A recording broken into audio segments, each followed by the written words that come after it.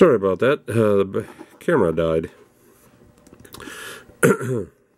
so anyway, as we continue to look at the Dreadnok torch here, like I said, he's got a lot of different accessories. He's got his uh, backpack and gun.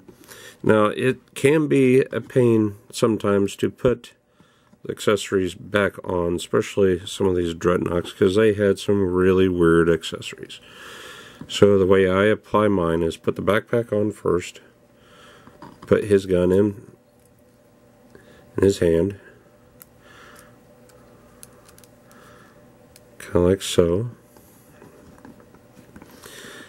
and just line that up. There we go. So this is my review of Torch. I hope you guys enjoy it. Uh, sorry that I'm still been under the weather a bit, but I wanted to try to get all these dreadnoks done um, for the end of the month and get them all posted. Uh, still feel a bit tired and a bit weak. Been fighting this flu, cold, whatever I've had for uh, a week now. But uh, thank you for watching. Hit the subscribe button. You don't want to miss any videos that we have coming up. If you like us, give us a thumbs up. If you have a comment, go ahead and post a comment below. Uh, go ahead and uh, be kind, rewind, and stay tuned for next time.